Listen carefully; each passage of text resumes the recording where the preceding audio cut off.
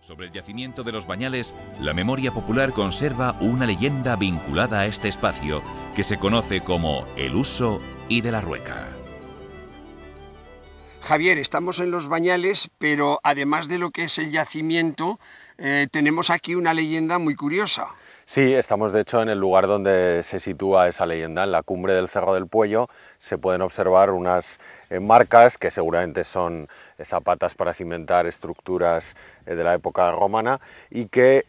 la tradición popular interpreta como las huellas de las pisadas. Ahí hay dos variantes, en general se dice que de Hércules, que hace un gran esfuerzo para lanzar hacia el montículo que delimita el yacimiento hacia el sur, que es el Uso y la Rueca, dos grandes piedras que aparecen clavadas todavía hoy en ese montículo.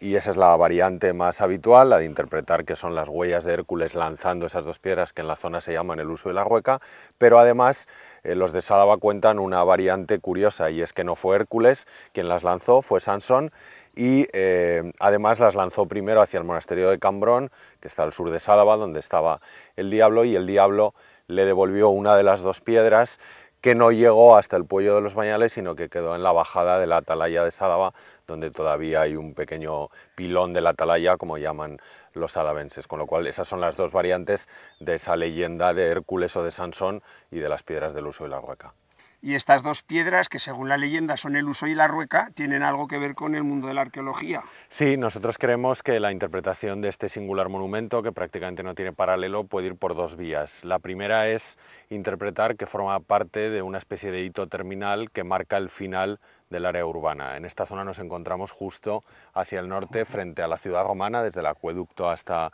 eh, la falda del Puello, donde se ubicó la necrópolis, y curiosamente en las prospecciones que hemos hecho por toda la llanura de la Val de Bañales, el material arqueológico se interrumpe a partir de este hito, con lo cual nosotros pensamos que estos dos monolitos puedan tener algo que ver con la indicación del final del área municipal. Pero además este monumento es perceptible siempre, o debía ser perceptible siempre para el viajero que venía por la vía que desde César Augusta se dirigía hacia el Pirineo pasando por los Bañales. Cuando uno eh, camina por la plana de Biota, por ejemplo, puede a lo mejor perder de vista en algún momento el Puello de los Bañales y su área monumental, pero el Uso y la Rueca permanece como una especie de monumento admonitorio al viajero para que sepa que está ante la proximidad de una importante ciudad que debió tener también un papel de cruce de caminos y de eje viario muy importante en época romana.